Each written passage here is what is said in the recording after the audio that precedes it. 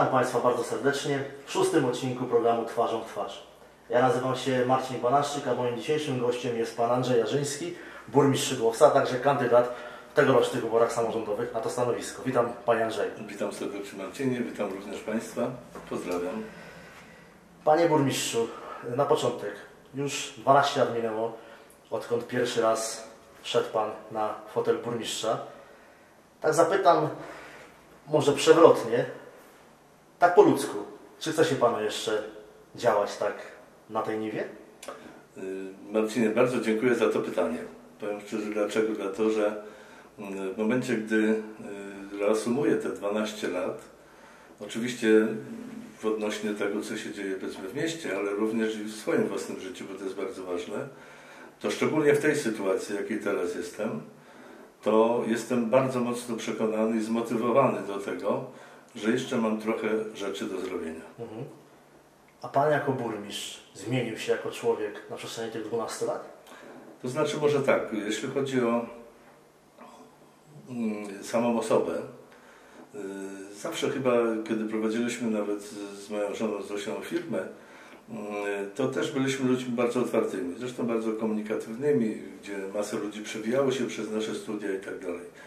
Y, No oczywiście wymaga dzisiaj y, Urząd Burmistrza troszkę innej etykiety, y, troszkę innego zachowania, troszkę powiedzmy również i inne obowiązki, prawda?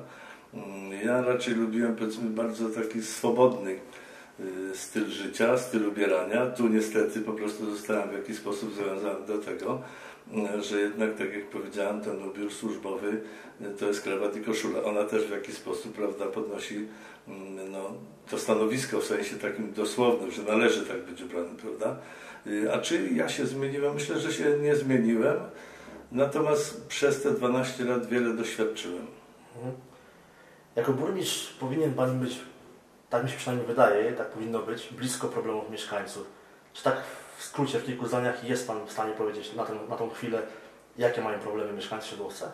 Tak, powiem, że y, może nie, nie chciałbym to powiedzieć w skrócie, ale bardzo krótki mam y, odcinek mojej drogi, kiedy wychodzę z domu i idę do ratusza, prawda? No sam Mhm. widziałeś, to jest w granicach y, 150 metrów może. I proszę sobie wyobrazić, że niekiedy na tym krótkim odcinku y, prowadzę 3-4 rozmowy z ludźmi. Y, Nie przeszkadza mi to, a wręcz jestem bardzo zadowolony, że ta komunikacja moja z ludźmi jest tak właśnie bliska. Czy jestem w szkole, czy w kościele, czy jestem powiedzmy na ulicy, czy tak jak tu powiadam, wracam po prostu do domu, czy idę do pracy, ci ludzie podchodzą do mnie ze swoimi problemami. Ja powiem tak, dzisiejsza rzeczywistość, czyli nasz y, otaczający świat, no niestety nie rozpieszcza. Mhm. To wiemy o tym doskonale, prawda? Nie tylko kryzysy ekonomiczne, ale również takie kryzysy życia codziennego. No trudno mi w tej chwili mówić o problemach takich osobistych ludzi, ale bardzo dużo jest. Mhm. Zresztą ten słynny mój poniedziałkowy konfesjonał, czyli w momencie, gdy wsłuchuję się w to, co ludzie mówią, z czym przychodzą, świadczy o tym, że jest bardzo dużo problemów, powiedziałbym takich problemów rodzinnych, osobistych. Mhm. A Oczywiście nie, nie ukrywajmy też i sytuacja społeczno-ekonomiczna też wpływa na to, że mm, mieszkańcy nasi w jakiś sposób powiedzmy też to odczuwają. No właśnie. Będąc burmistrzem tyle lat, na pewno y, borykał się Pan z takimi właśnie problemami jak, jak bezrobocie, które, o którym mówi się, y, y, o którym słyszy się zewsząd, tak? Y, temat wyjazdów y, ludzi z, z Szydłowca do innych miast w Polsce czy, do, czy nawet za granicę. Czy jako już 12-letni burmistrz, w cudzysłowie, ma Pan jakiś pomysł, żeby ta sytuacja zmieniła się?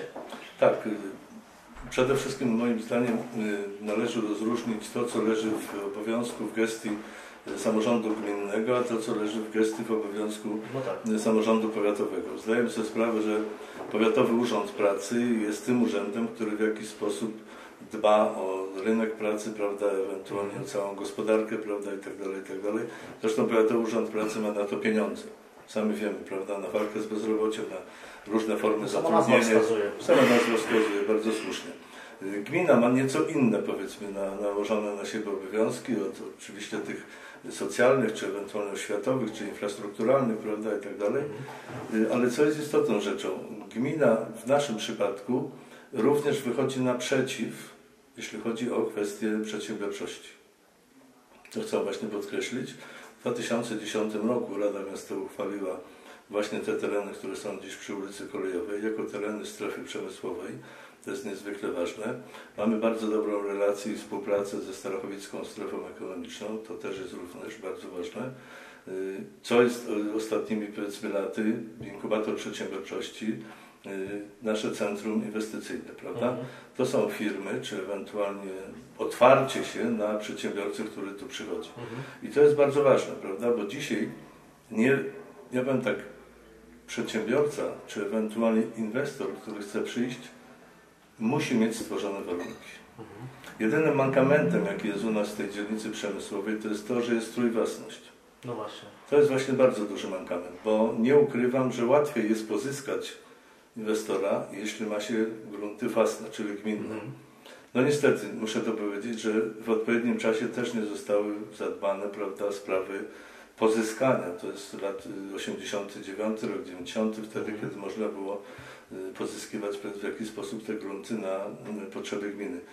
Y, Dzisiaj wiemy, że to kosztuje.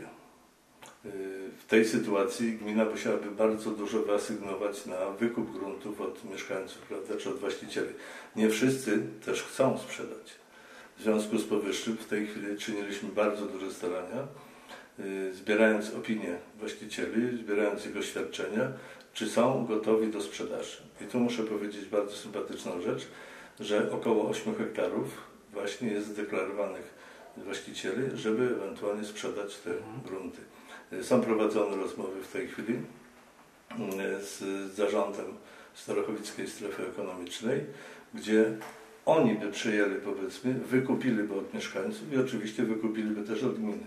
Bo trójwłasność to jest skarb państwa, gmina i prywatny właściciel. Mhm. Tak, tak. I te tereny, o których mówię, są położone właśnie przy Centrum Obsługi Inwestora, przy inkubatorze i to jest taki kawałek, prawda, około 8 hektarów. Czyli z tego co rozumiem, jest szansa, szansa że w najbliższym czasie y, te grunty zostaną w jakimś tam stopniu scalone I i będzie to ciekawsza e, oferta dla inwestora. Zdecydowanie, zdecydowanie jesteśmy po rozmowach, tak jak powiedziałem, ze Starachowicką strefą.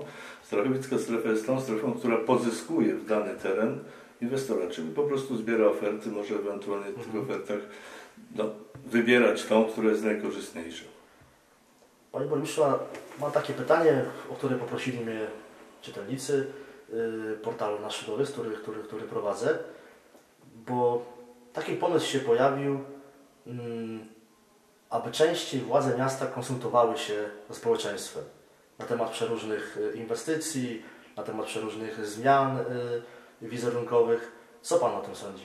Bardzo mi się to podoba i mówię do wszystkich Państwa, że bardzo mi się to podoba. Ja naprawdę nie jestem człowiekiem, który siedzi na miejscu w fotelu w gabinecie. Krążę, jeżdżę, chodzę po mieście w każdym, powiedzmy, w każdej sytuacji i taki kontakt bezpośredni absolutnie sobie cenię bardzo. Nawet powiem więcej, jest to zalążek tego, co się dzisiaj dzieje, powiedzmy, co wczoraj były wydarzenia u nas w kraju. Mowa o tak zwanym budżecie obywatelskim właśnie w samorządach. Absolutnie jestem za tym, jeśli Pan Bóg i ludzie, jak ja powiadam, pozwolą po prostu, że tak powiem, na następną kadencję, żebym również był na stanowisku burmistrza i spełniał swoją tą rolę, to zdecydowanie jestem za tym, żeby właśnie taki budżet wprowadzić. Niezwykle ważna rzecz, ze względu na to, że to mieszkańcy osiedla, czy ewentualnie prawda, części miasta, prawda, wschodniej, zachodniej, nie będziemy w tej chwili wyliczać, mają szansę wypowiedzieć się o swoich potrzebach. W momencie, gdy jest pomysł wywodzący się właśnie od grupy społecznej, od mieszkańców osiedla i on jest zbieżny z intencją moją, tak jak powiedziałem, to jest absolutnie sukces. Nikogo na siłę nie powinno się uszczęśliwiać. A były takie sygnały w trakcie tych y, trzech kadencji już od mieszkańców, że chcieli takie coś właśnie, że chcieliby budżet obywatelski, chcieliby więcej konsultacji? Może nie było takich sygnałów bezpośrednich. Mhm. W rozmowach, jak ja jestem z ludźmi, rozmawiam, oczywiście na niektórych osiedlach zdaję sobie sprawę, że brakuje na przykład chodnika, brakuje pewna drogi, czy tej nawierzchni asfaltowej. To są sygnały wynikające z bezpośrednich rozmów. Może nie grup społecznych, ale bezpośrednich rozmów i ewentualnie te zadania później znajdują się właśnie w projekcie budżetu. Mhm. Oczywiście projekt budżetu to nie budżet, który się uchwala, bo to jest właśnie to prowizorium, prawda? Później Rada Miejska uchwala ewentualnie ten budżet, który już później obowiązuje przez cały rok. No właśnie miałem zapytać tak w sumie o te, o te, o, o te ulice, o te chodniki, które gdzieś tam brakuje, no bo, no bo nie ukrywajmy tak, no jest trochę tych miejsc wśród osób, mimo tego, że wszystko zmienia się y, systematycznie na lepsze, to jednak też właśnie ludzie prosili mnie o takie pytania, szczególnie do Pana, ale, ale no skoro Pan już wspomniał o tym, to nie będę może o tym mówił, tylko tak zapytam troszkę inaczej.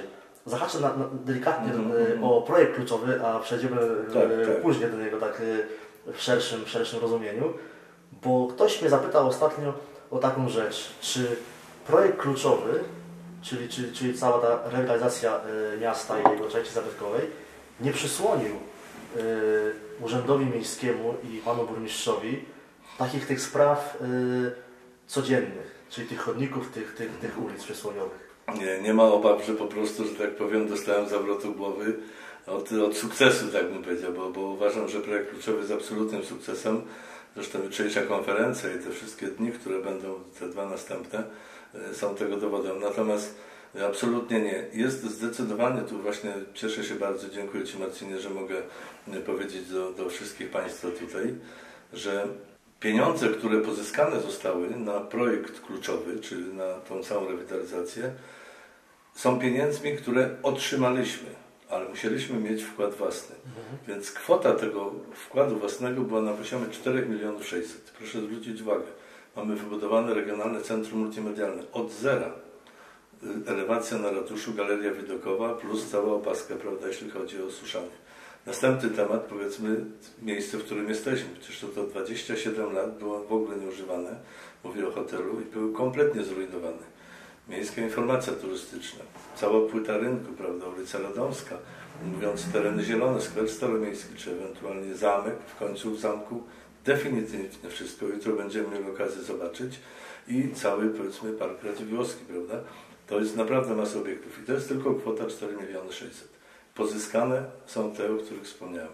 I nie można po prostu przesunąć tych pieniędzy, bo ktoś mógłby powiedzieć, że no słuchaj Andrzej, ale możesz te pieniądze, jak tyle dostałeś, to możesz innego. przesunąć. Nie, budżet jest tak skonstruowany, że to są tak zwane szufladki, prawda, w których muszą się znaleźć odpowiednie pieniądze. I nie można przesuwać. Te pieniądze, które dostaliśmy po napisaniu wniosku, oczywiście po wygraniu tego wniosku, musiały być tylko i wyłącznie przeznaczone na ten projekt, który jest. I co jest jeszcze, Marcin, dopowiem, co jest jeszcze istotne, bo też mnie właśnie ten kontakt z mieszkańcami, ludzie pytają, Panie Burmistrzu, ale Zakopower będzie, no jejku, no to wie Pan, to Don Wasyl, będą występy i tak dalej, przecież to kosztuje. Tak, proszę Państwa, to kosztuje, tyle tylko, że tak jak mówię o wartości tego projektu kluczowego, Unia Europejska zastrzega sobie, że musi być tak zwana promocja projektu. I w tej całej kwocie, którą oni nam dofinansowali, jest również zawarta kwota na promocję projektu. Także też nie możemy tej kwoty wyjąć i na przykład położyć nakładkę asfaltową gdzieś. No rozumiem. Tak musi być, takie są reguły. Panie Andrzeju, a sam Pan ten temat wyciągnął i nie, nie, nie, nie mogę go pominąć. Właśnie koncert, tak, który, który e, mówimy, że będzie jutro, ale program będzie emitowany 12 listopada, więc to już będzie za nami ten, ten, ten koncert. To umawiamy się na następne spotkanie po. Okej, nie ma problemu. Ale y, to grzmi na forach internetowych i, i mam nadzieję, że to jakoś tam Pana nie urazi, ani dotknie. Zapytam o to, co pytają ludzie na w internecie. tak, tak, tak. Y, dlaczego ten koncert, i to teraz cytuję y, pytanie z internetu, dlaczego ten koncert odbywa się tydzień przed wyborami samorządowymi? Y, No, jeśli mogę użyć słowa, że to jest absolutne nieporozumienie i to jest troszkę szkodliwe, takie to chciałbym to od razu powiedzieć, szkodliwe dla tych wszystkich pracowników moich, bo ja bardzo cenię sobie swoją kadrę w Urzędzie Miejskim, którzy pracowali po prostu nad tym projektem i to nie jest to, że ten projekt został zapisany, prawda, bo za tydzień są wybory. No proszę wybaczyć, ale to jest kompletne nieporozumienie. Termin projektu został określony na początku. I tylko i wyłącznie, że w tej chwili jest miesiąc niecały przesunięcia, prawda, Mhm. spowodowane było to, że niestety były opady, wiemy doskonale, prawie monsunowe deszcze u nas padały, prawda, wiemy jakie były zagrożenia i tak dalej. I nie jest to związane, Boże, z wyborami, prawda. To tak samo ktoś mógłby powiedzieć, proszę bardzo, siódemka, otwarcie teraz, też sobie załatwił, prawda, że rozpoczęli budowę teraz siódemki, bo idą wybory. Nie, ja się cieszę bardzo, Bo gdyby siódemka rozpoczęła się w 2010 roku, Mhm. to dziś my by, bylibyśmy już po zakończonej inwestycji. A dziś trzeba będzie dopilnowywać tej siódemki, żeby ewentualnie to, co zostało zawarte w całej dokumentacji i w tej opisowej części, prawda, bo ma być boisko, ma być plac zabaw, prawda, mają być powiedzmy chodniki, doświetlenie i tak dalej, i tak dalej. Piękny obieg się szykuje, prawda? Czy te przeprawy, trzeba to wszystko dopilnować. I też nie na wybory. Okej. Dziękuję za odpowiedź w takim razie. Mam nadzieję, że interaci będą usatysfakcjonowani tą odpowiedzią. I ja, korzystając Marcin z tej okazji, serdecznie zapraszam. Jeśli ktoś kiedykolwiek ma jakieś pytania, zresztą byłem jednym z pierwszych, który otworzył tak zwane skrzynkę pytania do burmistrza. Zdarzają się czasem trudniejsze, czasem łatwiejsze, czasem bardzo fajne, czasem gratulacje, za które też dziękuję. Y, To serdecznie proszę o to, żeby zawsze do mnie przyjść o każdej porze. No oczywiście y, nie jak w tym reklamie, prawda, że o 5 nad ranem czy o 3, prawda? No tak.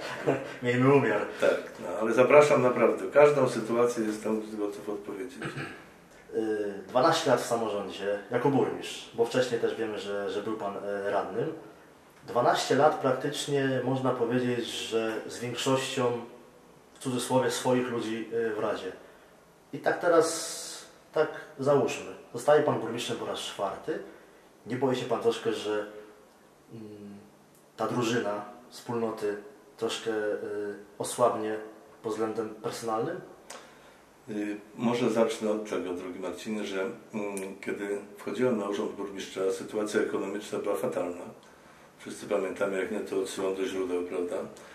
Czterowadza, okres, prawda, długów, 68% zadłużenie, w ogóle no, fatalny stan, nie mówiąc już o nastrojach.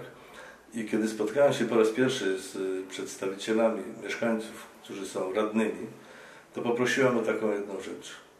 Właśnie kiedy wygłaszałem to swoje expose, powiedziałem, Szanowni Państwo, dzisiaj Was bardzo serdecznie o jedną rzecz proszę. Zostawcie wszystkie legitymacje partyjne, stowarzyszeń, ugrupowań, a weźcie tylko jedną legitymację, legitymację radnego. I myślę, że nastąpiło przekonanie. Może na początku nie do końca, ale później już w połowie tej pierwszej kadencji wiedzieliśmy po prostu, że mamy coś do zrobienia. Kiedy później, tak jak powiem, również z tego bezpośredniego wyboru zostałem wybrany, to jest rok 2006, prawda, do kadencji 2010, powtórzyłem to samo jeszcze z większym naciskiem, bo pierwsza kadencja to była kadencja niestety oddłużania gminy. To była kadencja ciężkiej roboty i braku możliwości pozyskania jakichkolwiek pieniędzy. Mhm. Ja miałem taką sytuację, że kiedy mieliśmy zadłużenie w ZUS-ie, 6 milionów złotych było. Jeździłem do 11 banków i żaden bank mi nie dał po prostu, że tak powiem, możliwości pożyczki. Żadnej. Jedynie tylko tu nie będę mówił, bo to była kryptoreklama.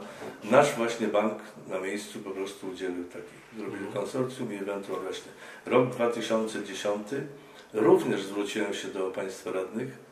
Szanowni Państwo, od 2010 szykuje nam się możliwość pozyskiwania środków. Stąd powstał powiedzmy projekt, projekt na wniosek kluczowy. Mhm. I tą samą regułę powtórzyłem.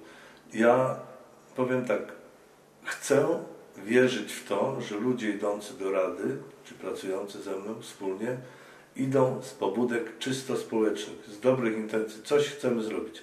Oczywiście nie kwestionuję, każdy ma prawo do własnego zdania, do własnych poglądów i oczywiście do tego, żeby je świadomie wypowiadać. Mhm. Ale to, co wszystko jest istotne, to jest zjednoczenie w Radzie. Jakiś wspólny cel.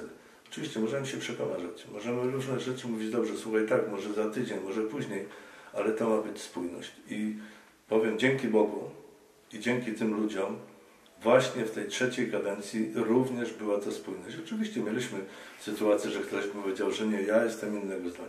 Ma pełne prawo, ale Rada, burmistrz to jest samorząd miasta i gminy i to jest właśnie coś ważnego. Nie no pewnie sam też tak to postrzegam, że tak powinno to wyglądać, że idziemy działać dla Tak. miasta, dla, dla Środowiska, jakby tak, wspólnego, społeczności, wspól- tak. wspólnego dobra, a nie dla jakichś tam własnych korzyści czy, czy, czy interesów.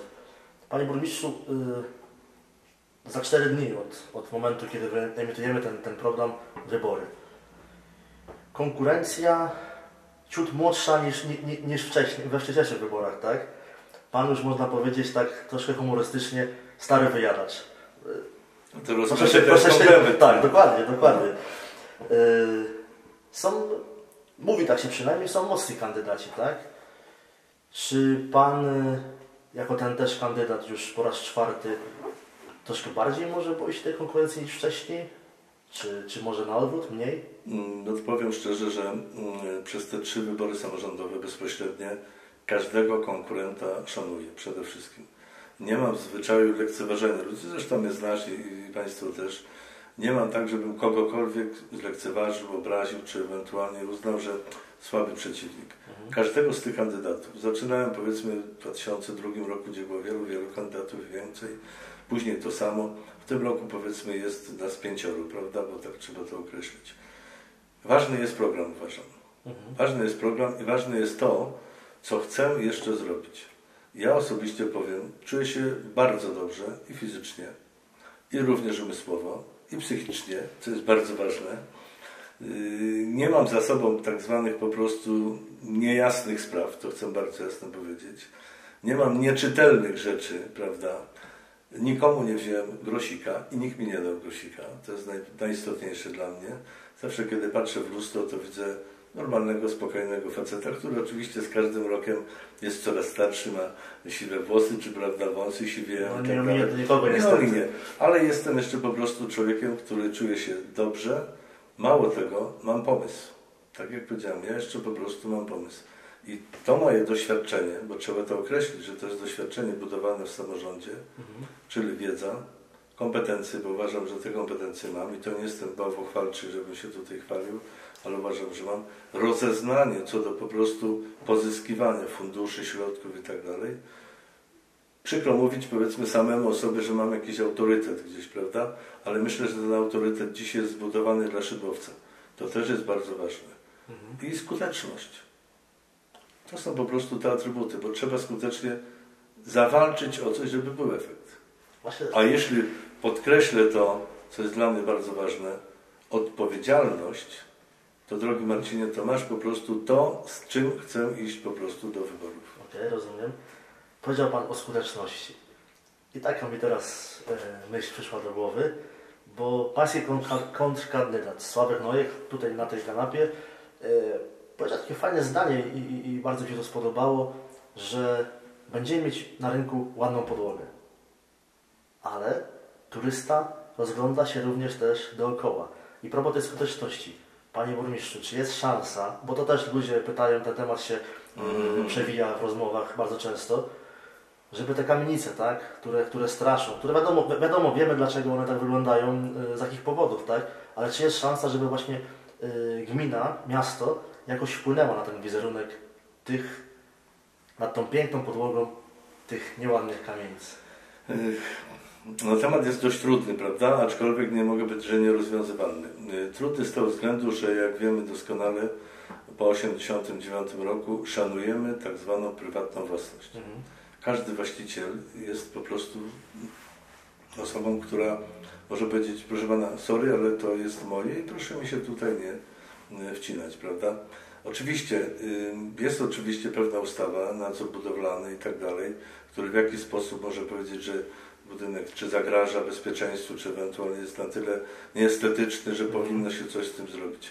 Ja mam inny pomysł. No. Y, Kiedyś takie zdanie powiedziałem i to może dzisiaj powtórzę, że równolegle z oddłużaniem gminy, czyli z tym, co było dla nas bardzo trudne, żeby zejść po prostu do poziomu finansów takich, które będziemy mogli aspirować jakieś środki, robiliśmy promocję naszego miasta. Prawda? To jest stolica kulturalna, to jest piękniejsza Polska, to są srebrne skrzydła, to są różne powiedzmy te laury, które gdzieś tam się udało nam zrobić, pokazując równolegle, że ten szydłowiec jednak istnieje. I rzecz jest niebagatelna, prawda? To, co powiedziałem, powtórzę teraz. Zapraszając kogoś do domu, nie zapraszamy do bałaganu. Nie zapraszamy do miejsca, które jest nieposprzątane. Stąd moja po prostu taka determinacja w tym wniosku kluczowym. Jutro będziemy mieli okazję zobaczyć stary zamek, stary hotel, prawda, te obiekty. Dzisiaj ten dom pod tytułem Szydłowiec jest przygotowany do przyjęcia gości. Zdaję sobie sprawę, jeśli chodzi o elewację. Ale pomysł mój jest inny. Właśnie wejść w partnerstwo prywatne, publiczne z mieszkańcami. Tu zbudować tą relację poprzez ewentualnie dofinansowanie. Mhm. Gmina może w jakiś sposób prawda, Tak, ogłosić tak, tak. konkurs. Myślałem też o tym. O to właśnie chodzi. I to jest mój pomysł na to, żeby wspólnie z właścicielem, wspólnie z mieszkańcem zrealizować zadanie pod tytułem Nowa Elewacja, Mhm. czyli partnerstwo publiczno-prywatne. Jest takie pytanie konkretne od internautów.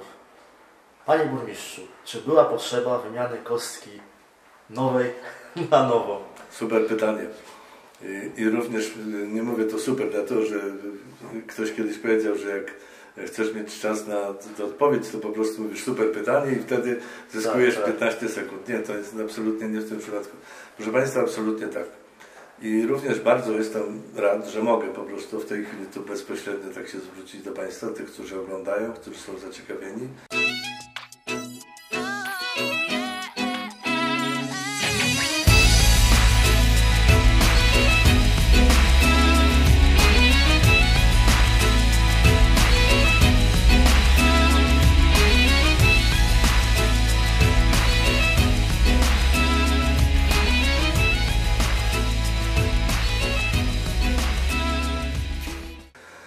Kostka ta, która była położona, ta betonowa, niestety na podłożu była takim położona, gdzie kanalizacja i wszystkie te media, które były, nie były drożne. Stąd proszę zwrócić uwagę, w tym roku robiliśmy zarówno całą deszczówkę, prawda, jak i co jest bardzo ważne, również została zrobiona instalacja gazowa. To też jest bardzo ważne. Już nie będziemy na drugi rok, czy tam powiedzmy za parę No lat tak. zbierać, żeby ludzie. Yy, Rynny spustowe, które są z budynków, jest odprowadzone wszystko rurami do yy, oczyszczalni ścieków, prawda? Mhm. I co jest ważne? I dzisiaj ta kostka, która była, a stan, jak pamiętamy, był fatalny, bo jak były deszcze, to co chwilę, prawda, zapadała się, co chwilkę widać było bajorko, została wykorzystana w sposób gospodarczy. Jeszcze raz to powtarzam. Tą kostkę, którą mamy, będziemy mieli na wiele, wiele lat. System jej ułożenia, sposób ułożenia i całe media, które zostały zrobione, zamykają temat rynku i wody. Mhm. Proszę zwrócić uwagę. Tak ulewne deszcze i my nie mamy kałuży żadnej, prawda? Jest goła płyta. Zawsze mówimy, że po prostu jak to jest, na zachodzie są takie drogi, że deszcz pada i nie widać na jezdniach, prawda? A u nas zrobiona droga i od razu widać kałuże. Mhm. Tu właśnie jest ten element zachowany. Istotną rzeczą jest to, że ta kostka, proszę zwrócić uwagę, jest wykorzystywana. Przecież zrobiliśmy duży parking przy Janie Pawle II przy zespole szkół, prawda? Zrobiony jest chodnik przy przedszkolu na ulicy Wschodniej. Parking zrobiony również jest przy tym samym przedszkolu, przy bloku powiedzmy tutaj przy Sztajerku. Zrobiony jest cały ciąg komunikacyjny z tej samej kostki, łączący ulicę Jachowskiego z dojściem do Biedronki, prawda? Łącznie z tymi tak zwanymi wydeptanymi ścieżkami, gdzie też po prostu została położona. Zrobiony jest plac apelowy na Woli Korzeniowej. Zrobiony jest wjazd w Majdowie do szkoły, łącznie z dojazdem do parkingu. Zrobiona jest ulica Piaskowa, zrobiona jest ulica Folwarczna i wiele, Ja wiele... jeszcze w wielu miejscach tego wielu- widziałem, Proszę, kostka tak, czeka jest na kostka czeka na placu przy y, szkole podstawowej Jana III Sobieskiego. Mhm. Chcemy zrobić zatoczkę dla autobusu szkolnego, ale również dla rodziców przy ulicy Wschodniej. Mhm. Kostka czeka przy ulicy Kolejowej, jak jest ciąg komunikacyjny pieszy przy pawilonie, też po prostu do, do zrobienia. Także jestem ogromnie rad, że mogłem, instalując tutaj tą kostkę, oczywiście firmy, nie ja, prawda, instalując, ale my mogliśmy po prostu ją wykorzystać właśnie w takie miejsca, które są Myślę, niezwykle że- ważne. Myślę, że wystarczającym powodem Kubala, jest... proszę zwrócić uwagę, też, Mhm. prawda, dojście, młodzież, prawda, idąca ze szkoły, żołnierzy września dojście, prawda, także no wiele, wiele takich miejsc. Właśnie myślę, że takim powodem, który wystarczał, wystarczałby do odpowiedzi jest właśnie to, ta wymiana y, kanalizacji tak, Tak, y, tak. Na, na rynku i tych, i, i tych różnych innych mediów. Nie pachnie brzydko już dzisiaj, że tak powiem. Panie burmistrzu, a. Proszę uprzejmie. a ile osób y, jakby decydowało o wyglądzie tej kostki? Czy to było jakieś... Jak to wyglądało? Tak, bo to też ludzi Tak, ciekawi. tak, bardzo, to są bardzo fajne pytania. Właśnie powiem dlaczego. Ja mam możliwość powiedzieć do no, tej całej rzeszy internautów, którzy będą Mhm. ewentualnie oglądać i, No tak, i, prosili, życzliwie, i życzliwie ich prosili, pozdrawiam. mnie, e, prosili mnie, żebym się nie bał takich pytań zadać. Absolutnie, Marcin, nie, jestem Ci ogromnie wdzięczny i Państwu też za to, że o tym mówimy, moi drodzy. Yy, Sytuacja jest taka. Jest taki temat jak zamówienia publiczne.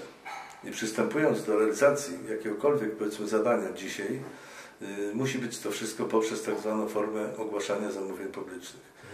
Ogłaszając powiedzmy tu na rynku, nie tylko na rynku, ale biorąc pod uwagę cały projekt, bo muszę Państwu powiedzieć, że w pierwszej wersji y, udało mi się, to byłem też ogromnie szczęśliwy, tylko i wyłącznie pozyskać pieniądze na y, ten budynek, jakim tu jesteśmy, na hotel. Zrezygnowałem właściwie z tego, uznając, że po prostu to jest za mało i muszę rozbudować notabene ten wniosek o wszystkie obiekty, które dzisiaj się znajdują już po rewitalizacji. W związku z powyższym ogłasza się konkurs. Ogłasza się konkurs poprzez zamówienie publiczne, wyliczając co chcemy, czyli powiedzmy elewacje, ratusze i tak dalej, Mhm. hotel pod dębem, prawda, miejską informację, y, centrum regionalne, centrum multimedialne, No tak, ale zamek i chodzi tak mi dalej. głównie o, o, o, o, jakby właśnie wizualny. już zbliżam do, do końca Mhm. powiedzmy odpowiedzi. I ogłaszamy konkurs. I w tym momencie poprzez te zamówienia publiczne wygrywa taka czy druga firma, a ze względu na to, że tu u nas jest tak zwana strefa historyczna Szydłowca, strefa zabytkowa, jest pod nadzorem konserwatorskim. Mhm. Musi wygrać też firma, która po prostu spełni nadzór konserwatorski. I to nie jest tak, że my wybraliśmy firmę, bo firma wygrała po prostu ze Szczecina. Mhm. To nie jest szydłowca z okolic. Oczywiście później na zatwierdzenie kończymy, prawda, są pytania w tom i z powrotem, zamyka się tak zwany proces, prawda, Mhm. zamówienia, zaczynamy realizować zamówienie. Na wykonawcę, na przykład hotelu, ogłasza się też przetarg. Mhm. I też po prostu cała Polska bierze, oczywiście i cała Europa może brać udział. Na wykonanie powiedzmy elewacji ratusza też się ogłasza przetarg. Na Mhm. budowę regionalnego centrum też się ogłasza, czy na zamek. Czyli, czyli tutaj jakby na Każdy- częścią historyczną czuwał konserwator. Tak jest, tak jest, tak Aha. jest, któremu jestem notabene bardzo wdzięczny, bo jest, śmiało mogę powiedzieć, pan konserwator jest naszym przyjacielem, dbającym o to, żeby było wszystko jak Mhm. najbardziej zgodne. Panie Burmistrzu, tak już zmierzając do końca naszego spotkania, y, nie mogę nie zapytać, bo ja jestem pasjonatem y, lokalnej społeczności, ludzi Szydłowca. Uwielbiam y, nasze społeczeństwo, mimo że jest trudne, narzekające, ale zarazem jest strasznie zaradne, strasznie pomysłowe i takie błyskotliwe. Ja tak przynajmniej uważam. I nie ma co ukrywać, u nas y, wyróżniają się seniorzy, którzy potrafią sobie zorganizować czas, młodzież, bardzo ambitna młodzież, która na razie gdzieś tam może pochowana gdzieś ze swoimi komputerami, ale, ale jakby pokazująca już, że chce mieć w tym mieście jakiś y, głos. Już od kilku lat mówi się o tak zwanych radach doradczych, seniorów, młodzieży, czy nawet przedsiębiorców. Co Pan y, o tym sądzi? Sądzę, że to jest bardzo dobry pomysł. To jest nawiązanie do tego pytania, które zadałeś na początku o tak zwanych projektach obywatelskich, o konsultacjach obywatelskich itd. No, muszę też powiedzieć, że przecież u nas jest Gminna Rada Sportu, w której są po prostu osoby zainteresowane sportem. Jest tak zwana powiedzmy również nasza Gminna Rada Przedsiębiorców, czyli powiedzmy też między innymi osoby, które są przedsiębiorcami i tak Mhm. dalej. Także ja staram się takie konsultacje powiedzmy prowadzić. Takie rady są. Jest, jeszcze, jeszcze sekundeczkę. Y, Również wystosowałem zaproszenie, bo w kampanii wyborczej widzę, prawda, y, powołam, powołam, powołam, powołam, nie będę mówił kto, y, Radę Seniorów. Chcę też również powiedzieć, że my mamy bardzo dobrą relację z seniorami. Oczywiście są trzy kluby, takie Mhm. potężne seniorów. I również ci ludzie tworzą taki zespół. Także już nie trzeba powoływać, bo to fizycznie można powiedzieć, tak. jest ta relacja jest bezpośrednia. Faktycznie brakuje powiedzmy takiego elementu typowo młodzieżowego, No przebojowego, prawda? I jeśli tak się złoży, że po prostu po 16 również będę dalej, że tak powiem, y, dzierżył ten mandat, prawda, y, wyboru Mhm. To z wielką sympatią zaproszę. Zaproszę dosłownie. Czyli możemy powiedzieć oficjalnie tak, teraz jest, możemy że- zaprosić, tak, możemy oficjalnie powiedzieć, że zaproszę młodzież do mnie na ratusz, żebyśmy usiedli nie tylko ze stowarzyszeń ludzie, bo są Mhm. ludzie, którzy są powiedzmy kreatywni indywidualnie. Mają coś do pokazania, mają też coś do zaprezentowania, prawda? Mhm. Są też tacy, wiemy o tym doskonale, spotykamy ich nieraz z jakąś, jakimś pędzlem na rynku, czy gdzieś tam, prawda, tworzą jakieś Mhm. swoje własne projekty, tak jak kiedyś ja tworząc zespoły w piwnicach graliśmy, prawda? Później trzeba było wyjść gdzieś dalej. Także z wielką sympatią i tu obiecuję, takie przedsięwzięcie będziemy robić.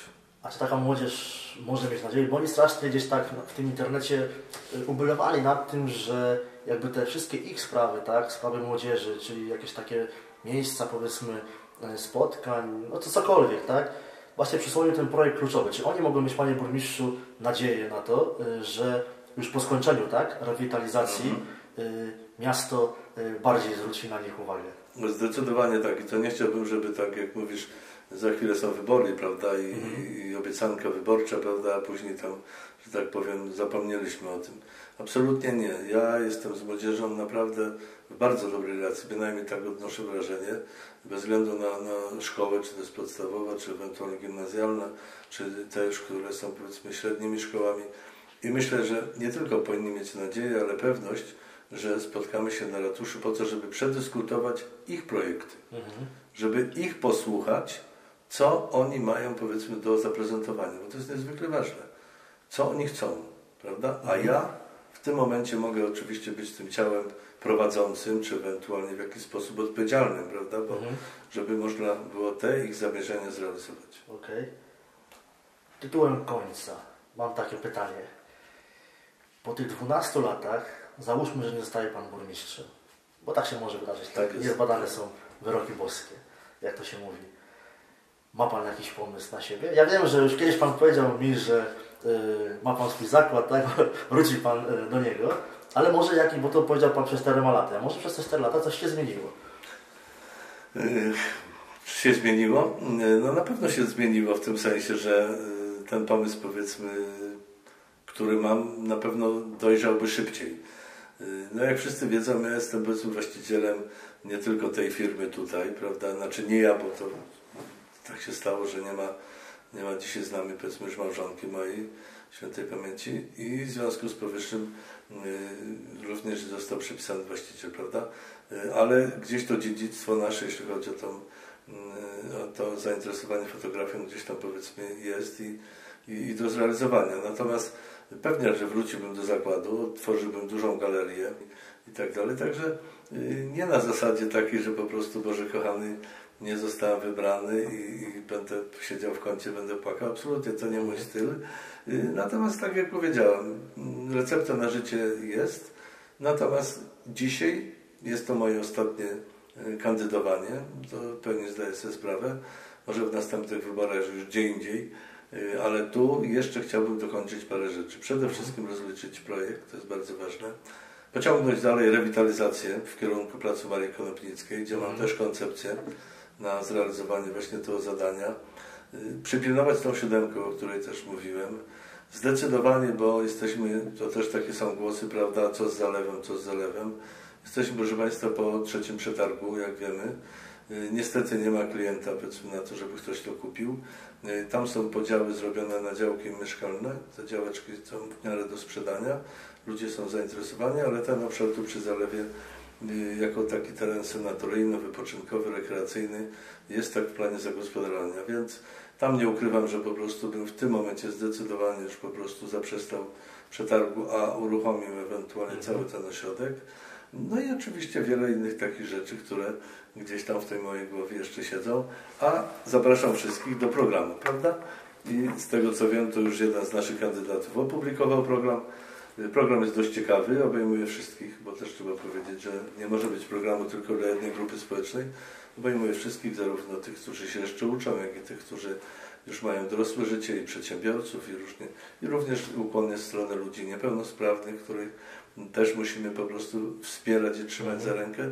Także myślę, że po prostu mam program, który będę starał się, jeśli wybiorą Państwo mnie i uznają, że to jest dobry facet na to stanowisko jeszcze, niech jeszcze troszkę te ręce jego potrzymają dalej te lejce, to będę ogromnie wdzięczny. Panie Andrzeju, tak czy inaczej, czy jako burmistrzowi, czy nie burmistrzowi, życzę Panu wszystkiego najlepszego. Bardzo serdecznie dziękuję. Dziękuję Ci Martin, że miałem okazję właśnie w takiej naszej bardzo sympatycznej rozmowie poruszyć tematy bardzo ważne. Y, Tematy, które tak jak uznałeś są, są tematami powiedzmy skierowanymi do Ciebie, czyli pytania dla jednych mogą być łatwe, dla drugich powiedzmy są bez odpowiedzi, bo, bo nie wiemy. I Państwu również bardzo dziękuję, że E, Taka okazja mi się zdarzyła. Jeśli możemy się umówić, Marcin, po wyborach, jak Państwo zdecydują, na następną rozmowę po to, żeby omówić szczegółowo relację wniosku kluczowego. Okej, to będziemy już umawiali się Tak po wyborach. Dziękuję bardzo. serdecznie pozdrawiam. Dziękuję bardzo.